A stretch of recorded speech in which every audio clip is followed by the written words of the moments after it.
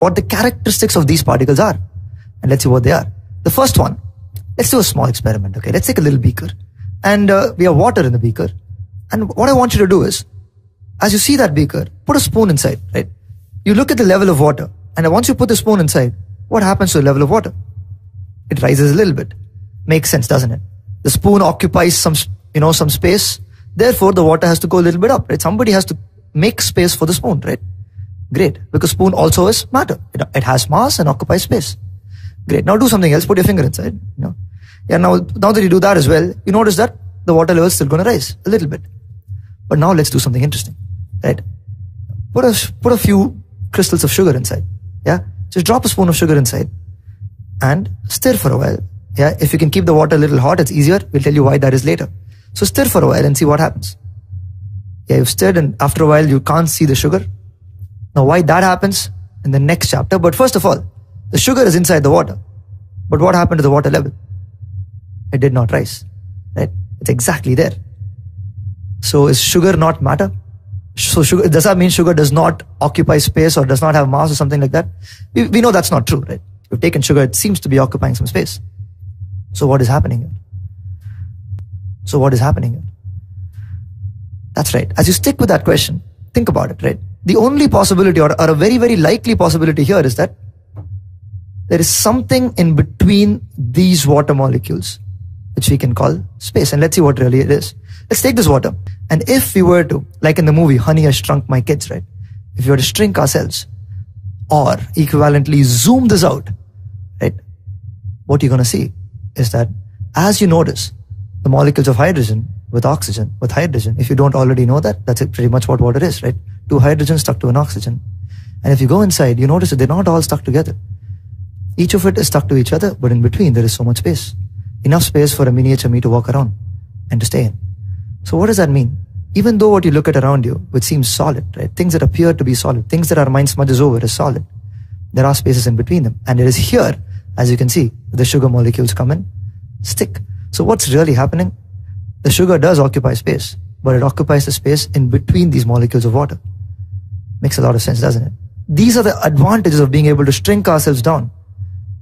And notice what matter is really made up of because what we see on the large scale is not what the behavior is as you go deep inside. Great. So what's the first characteristic we've observed?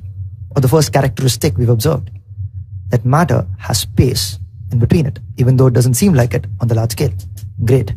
Now what else can we find out? Now is all this matter just standing there, static? You look at water, right? It looks pretty calm. You know, a, a, a placid lake, right? On a very boring evening looks perfectly calm. You drop a stone into it, it, it beautifully starts rippling away. It is the most, it's the calmest sight in the world. But do you think that if you go inside all the molecules of water themselves, right? Are they just sitting there calm and not, not moving around at all?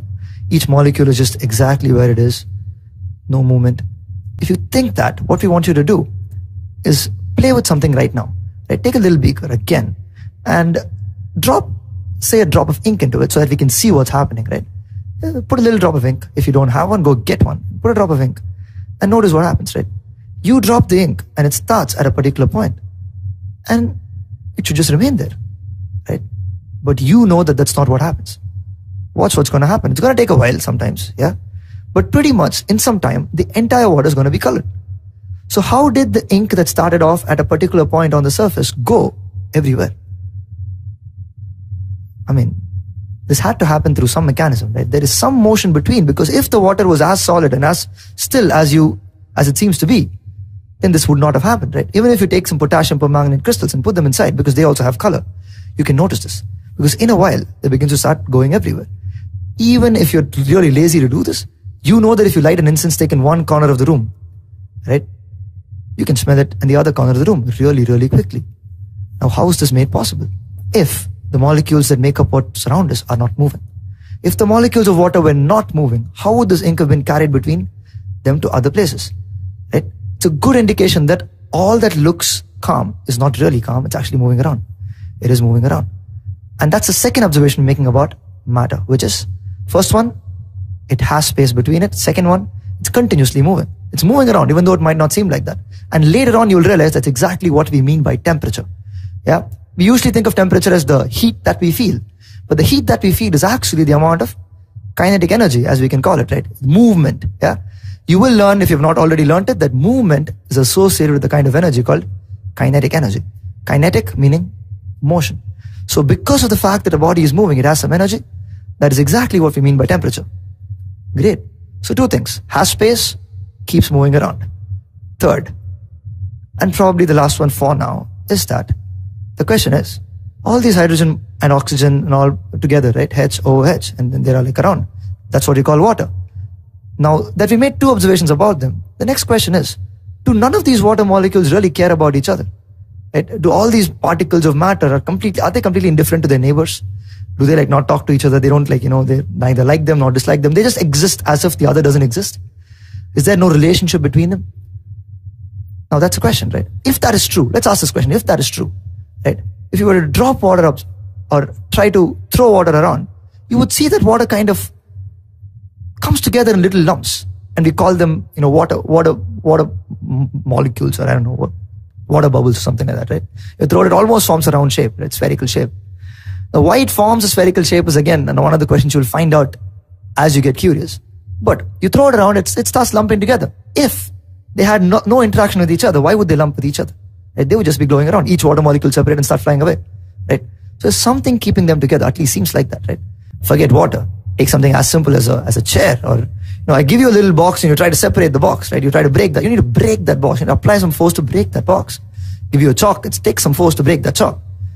Which means that whenever you see particles, whenever you see matter and you see particles, there seems to be something that's holding them together. Now, on that side note, I'm going to ask you one more question, right? You've all had paper, you've played with paper, even if you're not written on it. If you were to try and tear paper, it's going to tear pretty randomly, right? Now, the question I'm going to ask you, but not answer, is this. But somehow, if you make a line in that paper, right, and press it really hard and then tear it, it tears perfectly, right? Now, that's a question for you to think about. But even without that, the question really here is, why does it require some force to tear them apart, right? You could just like go do a little bit and then come apart, right? So something's holding them together. And that's our third and final observation, which is that these particles attract each other. And that's what's keeping them together. We can apply some force and break them apart, but does not mean that there is no attracting force. There is. So the three things that we've learned is that there is space, that they are moving around, and that they attract each other. And that's our summary of the characteristics of the particles that we see around us. So now we've seen that matter is made up of particles, they're really small. We also saw some characteristics. One, they have space between them. Two, they keep moving. And three, they attract each other.